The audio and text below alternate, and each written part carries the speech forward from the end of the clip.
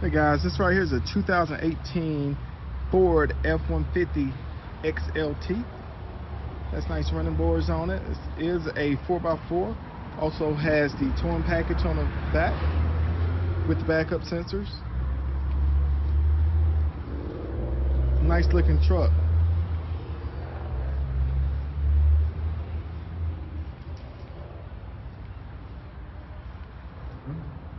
Let's take a look at the inside of this vehicle.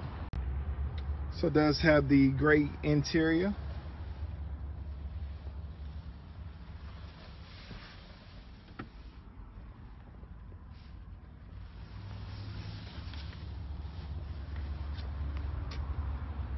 It only has 34,276 miles on it.